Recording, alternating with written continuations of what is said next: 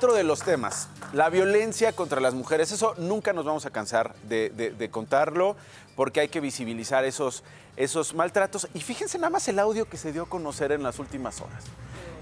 Una mujer, trabajadora en el ayuntamiento de Tototlán, en los Altos de Jalisco, saludos a Jalisco, denunció ni más ni menos que al director de Padrón y Licencias Municipal, Efraín Martínez Iñiguez, por acoso y hostigamiento sexual. El alcalde, Sergio Quesada Mendoza, intervino como mediador para tratar de conciliar el asunto, pero terminó acosándola. Mire.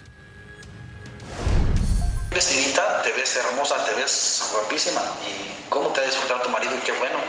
Porque al final de cuentas, el matrimonio es el que se goza más. Así como yo tengo pegue, yo sé que tú también lo debes de tener porque eres atractiva. No sé qué tienes, eres una niña muy femenina, muy bonita. Cualquiera que te vea pensaría que estás soltera. Yo no pensaría que tienes dos hijos. Ahí está, ahí está, es algo que publicó eh, esta mañana eh, un diario de circulación nacional. El alcalde eh, de, de- este municipio dijo que se tomara las cosas con calma, que si la hostigaron, que si la acosaron, que se tomen las cosas con calma, Lupita. Eso le dijeron a esta víctima, escuche. Soy hombre y se siente, ¿estamos de acuerdo? Al menos yo cuando veo una mujer muy femenina, es como si viera un pinche carro deportivo. Ay, cabrón, te quedas así nomás, qué chula. Es normal que ahorita la sociedad ya lo ve mal. Yo a veces cuando iba, por eso ya casi no iba a ir, te veía, qué bonita, no sé, ¿tienes algo, mija? ¿Tienes algo, no sé, tu pelo? No sé, fíjate qué cosas se dan. Si él te hubiera violado y te hubiera vivido este, cosas más delicadas, ay, no, no, eso no, mi cabrón, olvídate, venga con todo. Pero como la situación yo no la veo tan complicada, pues, porque no llegamos a eso, que bueno, yo no la veo tan complicada yo creo que todos, como te digo, tenemos derecho a una oportunidad, pero en este caso, pues tienes la última palabra.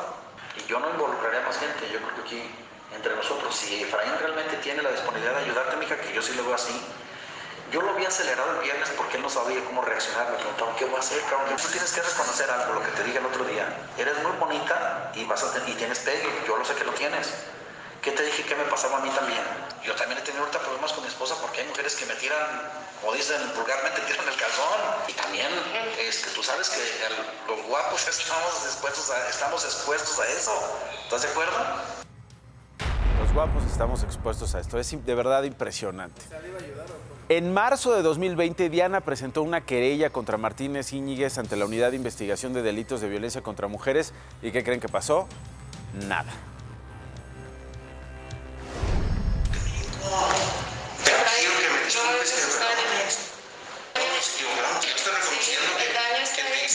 Mal, que te afecté emocionalmente. Perdóname. Mi decisión está tomada, Efraín. Muchas gracias, te lo agradezco. Pero pues ya es demasiado tarde, lo siento. Yo creo que sí lo debes de, de pensar bien, porque no sé, a lo mejor te han aconsejado. Yo sé que en términos legales va a ser un show, mija, va a ser un show.